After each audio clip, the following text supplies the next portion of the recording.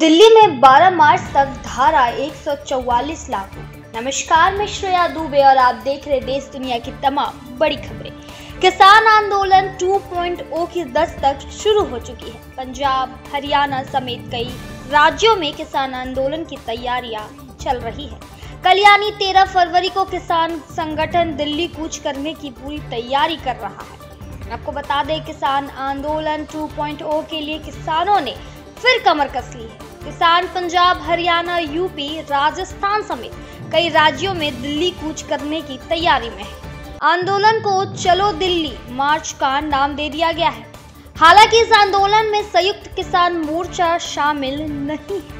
ये कुछ किसान संगठनों का प्रदर्शन है, लेकिन फिर भी किसानों की तैयारियों को देखते हुए पुलिस प्रशासन कोई भी रिस्क लेने के मूड में नहीं है फ़िलहाल। बता दें, दिल्ली से सटे हरियाणा, पंजाब और यूपी के बॉर्डर पर मुस्तैदी बढ़ा दी गई है। बॉर्डर को कटीले तार, सीमेंट के बैरिकेड से कवर किया जा रहा है। किसान मोर्चा को देखते हुए उत्तर पूर्वी दिल्ली में धारा 144 लागू कर दी गई है। आपको बता दें, बॉर्डर पर ही रोके जाने की तैयारी भी चल रही है। ये भी बताया जा रहा है कि उत्तराखंड और मध्य प्रदेश से भी किसान दिल्ली पहुँच सकते हैं।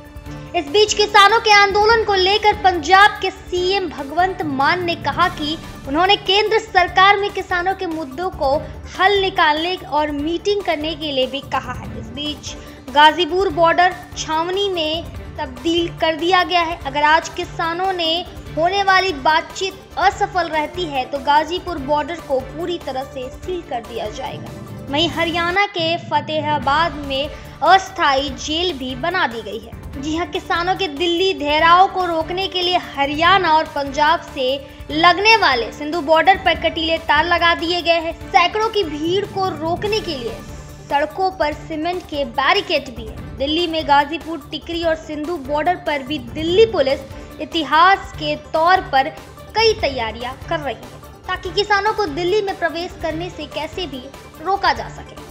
बता दें, गाजीपुर बॉर्डर पर पुलिस की गाड़ियाँ और बैरिकेड खड़े कर दिए गए हैं। सीसीटीवी कैमरे भी लगा दिए गए हैं। पुलिस प्रशासन को डर है कि कहीं पश्चिम उत्तर प्रदेश के सारे दूसरे संगठन भी इसमें शामिल ना हो जाए। अगर ऐसा होता है तो संभव है कि दिल्ली मेरठ राजमार्ग भी बाधित हो सकता है। ऐसी तमाम बड़ी खबरों के लिए